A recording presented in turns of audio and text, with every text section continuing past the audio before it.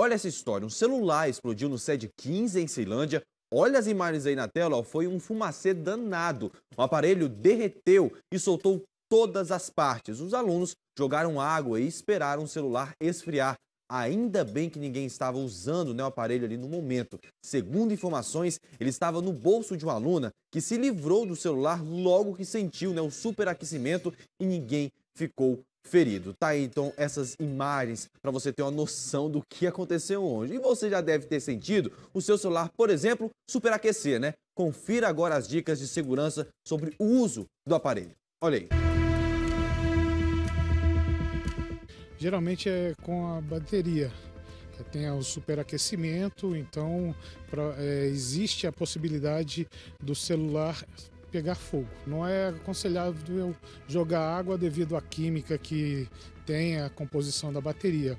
O aconselhável mesmo, primeiramente, é a pessoa se livrar do, do celular que estiver no bolso ou na bolsa, né? Se possível jogar areia ou terra, seria bem mais aconselhável do que a água. Então a pessoa só dela já descartar o celular para um local seguro, né, no chão, para que nenhuma pessoa chegue perto até que cesse essa reação do superaquecimento da bateria, isso seria o mais seguro.